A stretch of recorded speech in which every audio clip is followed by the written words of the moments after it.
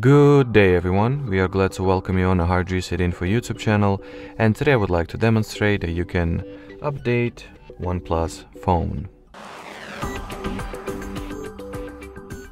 So that's a very quick and simple procedure to do, at least well. Starting the update, the update itself, its download and install processes might take a little bit of time, but um, Anyway, in order to do that, you will need to launch settings, then enter the about device category at the very bottom of the page, then at the top part of about device section, tap at your OS rectangle that you have over here. And if you will, uh, if, if there will be any due updates or pending updates, you will be able to tap at the update button over here and well, the respective updates will get downloaded and installed. Alrighty, so that will be it for today guys. Thanks for watching and bye bye.